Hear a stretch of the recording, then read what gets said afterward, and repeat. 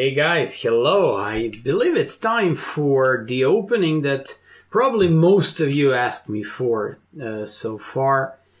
And it's the Max Lange attack. Max Lange attack is a very interesting line. I have to be honest that uh, I used to teach my students this opening a long time ago, like probably 15 years ago. For some reason, not anymore but thank you so much for asking so much and thank you so much for requesting this line uh, because I believe it's still great. Uh, unlike other videos, I have to reveal a secret here.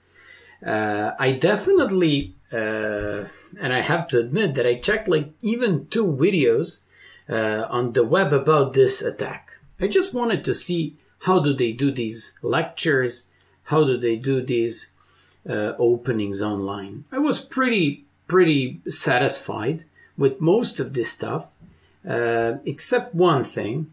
In one extremely popular video about this uh, opening, the guy said everything about this line except the most critical and the main line.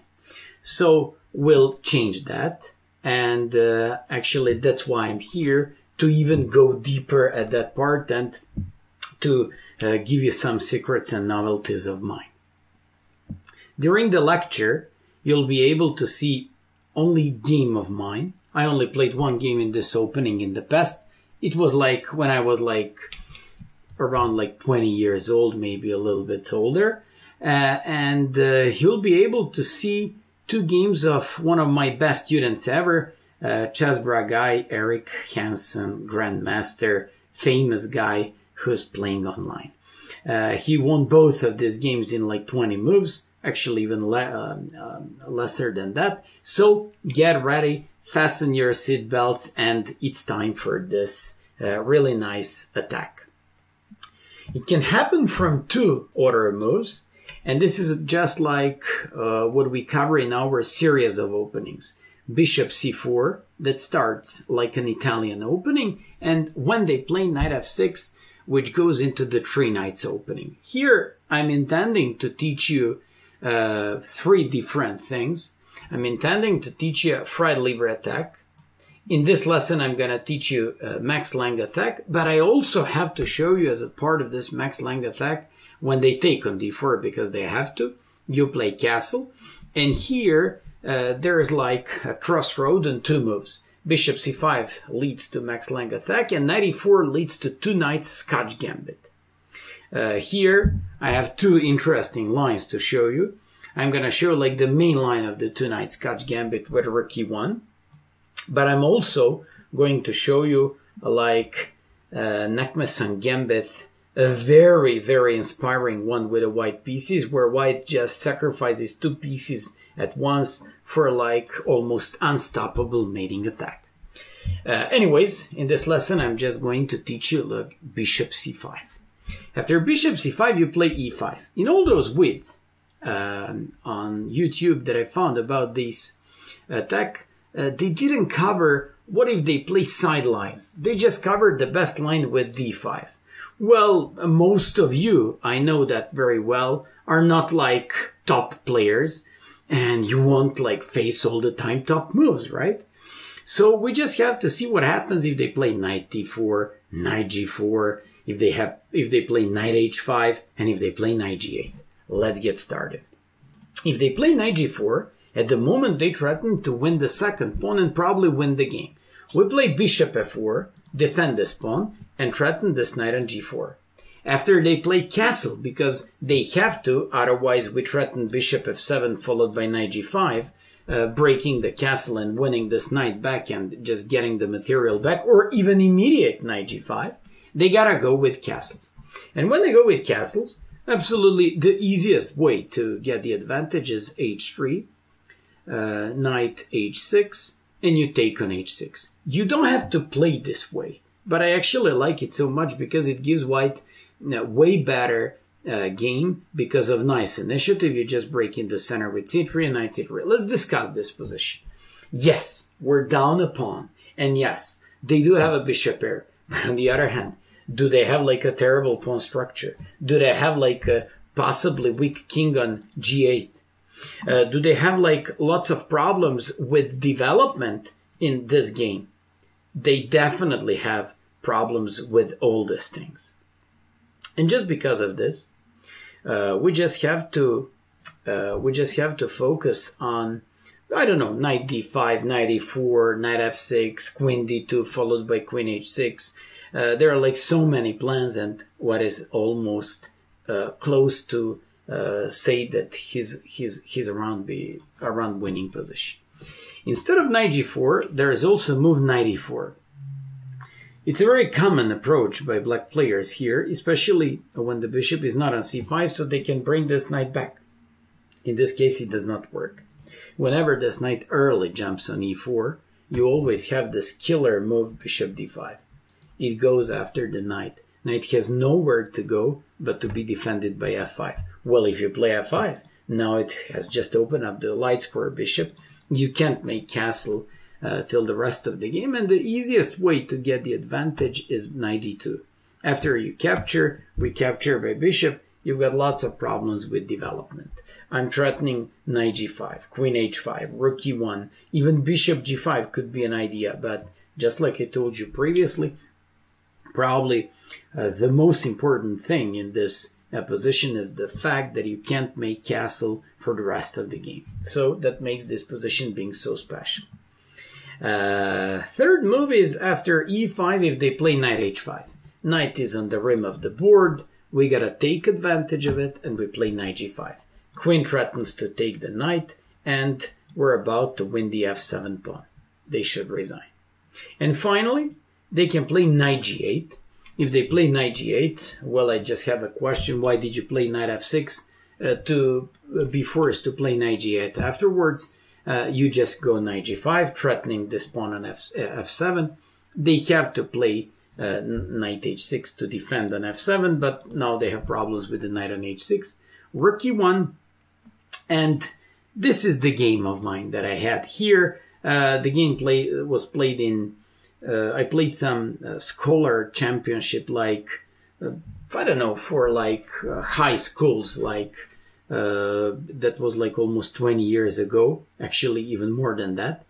And I remember that I was impressed with most of the analysis about this opening. I played rook e1 to defend pawn.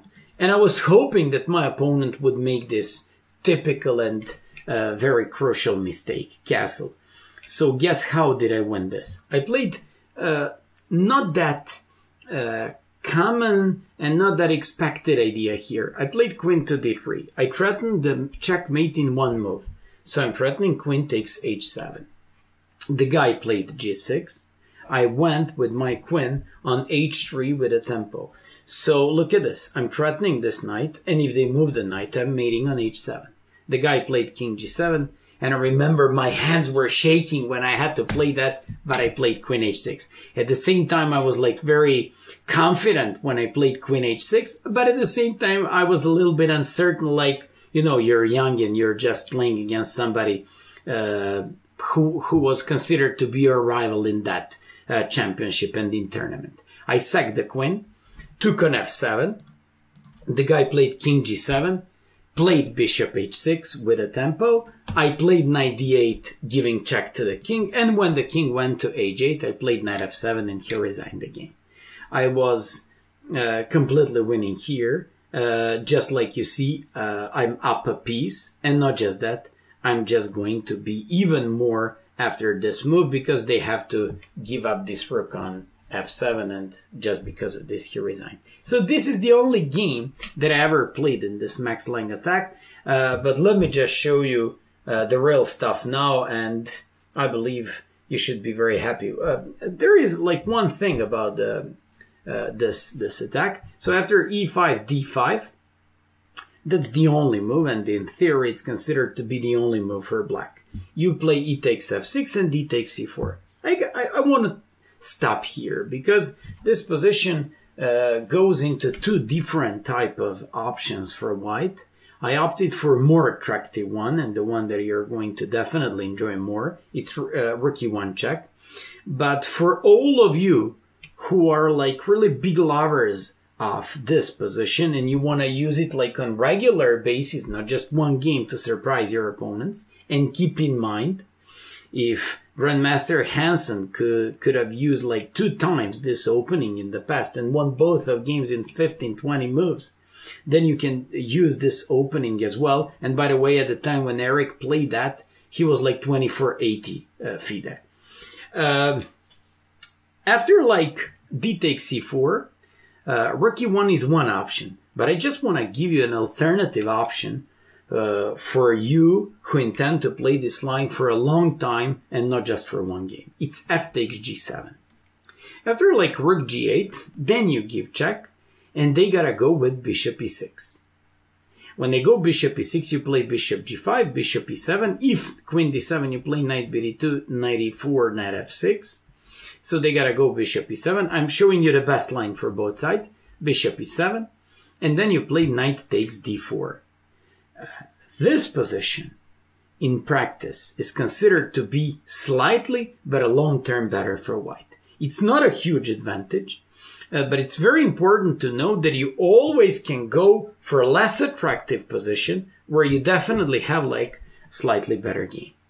Uh, why? Because if they play long castle, you take on c6 because the queen on uh, e7 is hanging. They have to take on c6 and you play queen f3. Look at this terrible pawn structure for black players.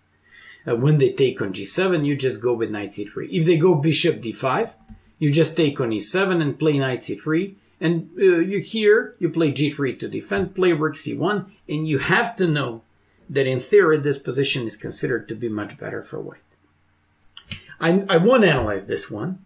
I'm just giving you, like, just like I told you, an alternative option and to be happy to have like two different lines, an attractive one full of sacrifices and this one which is like more sound and solid. But no, the real thing comes to rook e1 a line. Why do I like uh, the fact that you reminded me of this uh, Max Lange attack and this opening so much? First of all, uh, you're reminding me of the fact that I can still teach my students this opening. Also of the fact that Hansen won two games at the time when I was coaching him. And finally that I won one nice game. But more importantly, when I checked the main line, I couldn't find an equality for black. That's even more important. Today is like 15th of July when I'm making this video. And by the way, you're going to be able to see it live uh, in two days. But you know what? I really see lots of problems for black how to deal with this opening. What I like even more about this uh, attack is that they have to play literally all only and really, really uh, top moves in order to not, not to lose very easily. So that's what I like. I like like the tricky side of this opening, and uh, this is like recommendation for all of you. Let's go, guys. So after rook e1, they have to play bishop e6. I've seen Max Lange himself, uh, the guy who's like inventor of this opening, played a couple of games uh, back to 8060s uh, like this. In both of these games, he took on g7 and played 95. Nowadays, I'm gonna show you the game of Pavel Ponkratov, highest rated GM who still plays this opening with white pieces. he played knight bd2. The idea of knight bd2 is to go with this knight on e4 and to go for the attack, but also you can just win the pawn on c4 in case you're happy to win it. I'm not happy to win the pawn back. I'm actually happy to mate that. I'm showing the game between uh, Ponkratov and his opponent who who's also a GM around 2500. So this guy played, uh, by the way, if g takes f6, look at this. You play knight a4, threatening both bishop and pawn. Bishop goes back naturally. Bishop h6 check and queen d2. You want to play queen f4. I found one guy uh, who in this game played like bishop f5, like let me get my bishop around the king so everything to be proper and well defended. Well, queen f4 threatens the bishop, threatens uh, something else. If bishop e4, rook e4, they can't stop mating pattern with the queen g3. If they play bishop g6, uh, guys, I'm giving you like five seconds. Of course, pause the video and find it. Knight f6, rook e8, double exclam mark move, queen f6, and they can't stop mate or they're losing queen. And finally, after queen d2, knight e5, you go with queen f4, they go knight g6. One might say, well, I'm once again defending myself properly, so where is mate? Once again, pause the video and practice tactics. Knight f6, bishop f6, queen f6, baby, sacrifice the queen, threaten checkmate, and then da da da da checkmate. So I very much like this tactics regarding the uh, second f6 and even double like uh, sacrifice with a rook on e8 in order to deflect that queen from the defense of the f6 pawn. Pavel Ponkratov and uh, Sienkiewicz in the game was like queen d5. Ponkratov played knight e4, threatening both. Knight takes c5 to win the dark square bishop, to win the control of, uh, on, on the dark squares. The guy played bishop f5, f takes g7, and Ponkratov played a move of the game. Pause the video and find it. Once again, double exclamation mark move. Bishop h6. This is what I'm telling you. Uh, you gotta have a great memory and to really be uh, like cutting edge prepared for this opening if you want to use it. On the other hand, if Hansen, if I used it, if Ponkratov and all these GMs, Shulskis, whose name we heard like a couple of times in our weeds, uh, then you can beat your opponents as well. Just make sure to learn these analysis or just to ask Big Mio to buy these files. So after bishop h6, queen h6, queen d2, king g7, queen g5. You can't cover yourself with the bishop. You go king f8, Ponkratov played here. You can't go here because of knight f6. It's a nice mating pattern. Went with the king on e7. Queen h4, it's a nice check. Queen h6 again, uh, just checking his pulse and giving him like um, fake hope that he won't be able to see the win. And after knight c5, bishop e6, boom, black resigned. Just like you see, this was a great game by a guy who's rated 2600. The game was played in Russia six years ago, and I hope you enjoy. And finally, after king f8, knight bd2, they're pretty much aware of the fact that the knight goes and tends to jump on e4, and that we want to win this pawn on c4, so they pin this knight with the bishop before. Looks like, wow, what are we going to do? Don't panic. a3. They gotta give it up. You take, and they go bishop g4. I want to show you uh, one nice analysis here. If the queen takes f6, pause the video and find a nice tactics that absolutely breaks all uh, black defensive hopes. Knight takes d4. If queen takes d4, bishop e4, they can't take because the queen is fallen. If you move the king, then checkmate.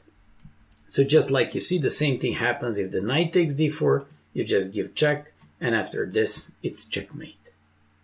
They simply, after knight e4, have to uh, uh, call it a day. So in order not to lose so easily, they have to pin now this knight. So they pinned one knight with the previously dark square bishop, and now they do with this uh, with this one.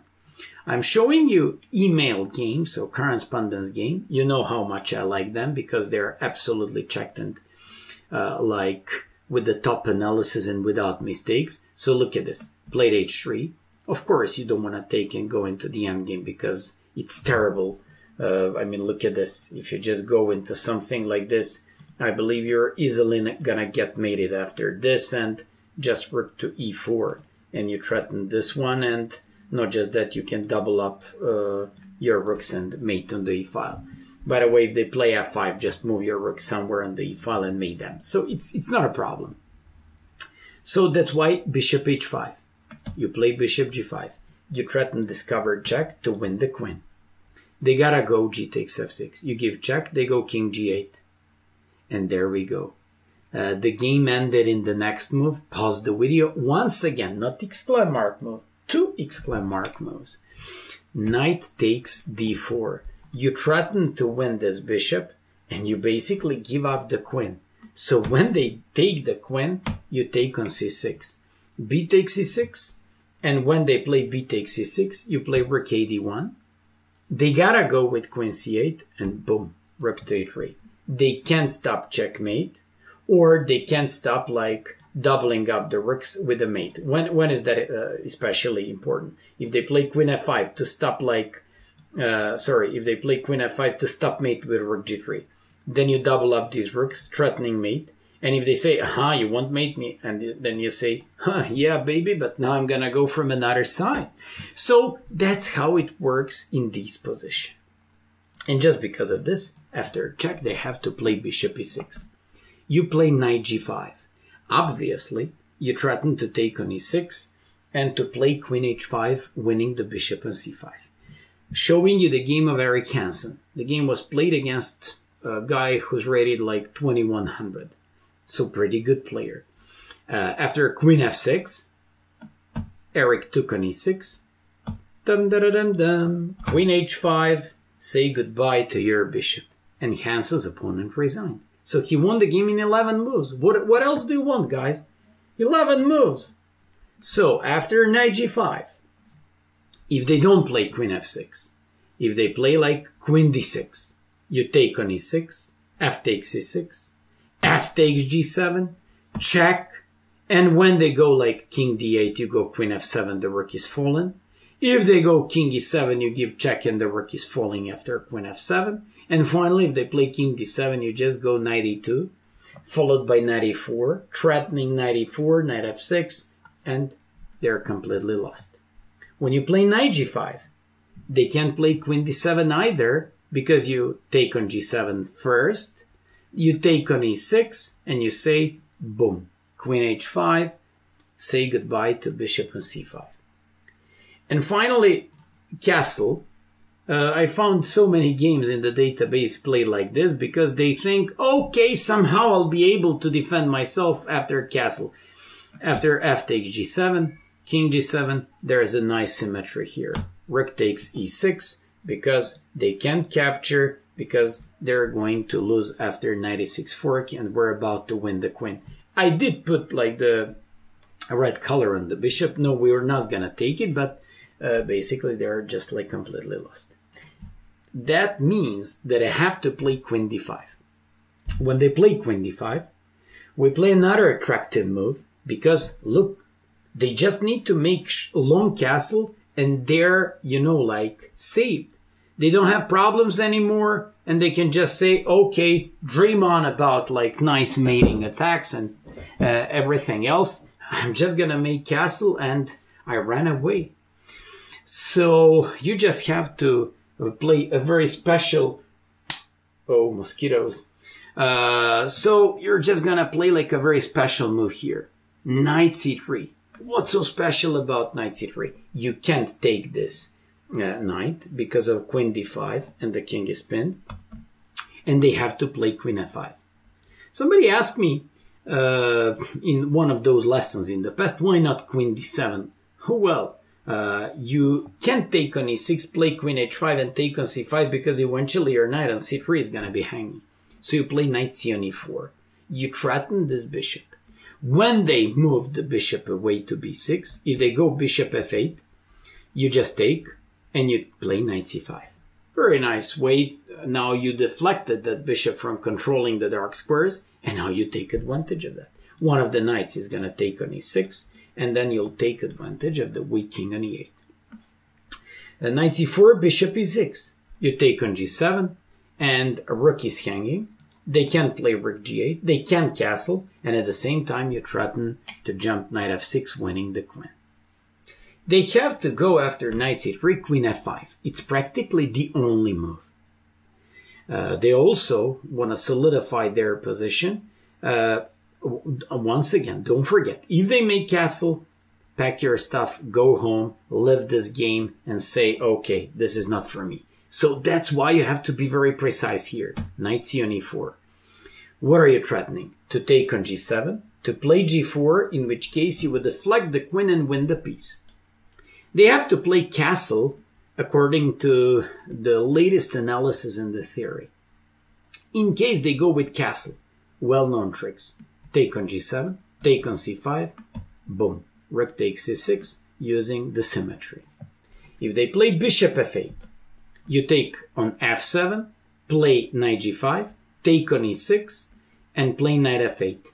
Of all the variations that I found about this line, I realized that this line is one of one of the most solid continuations by black in practice. Uh, I'm not saying this is good. It's actually much better for white, even according to the uh, strongest engines. But I just needed needed to show you like uh, what is used by pretty solid players in the past. Of course, what is much better. First of all, king on g8 is weak.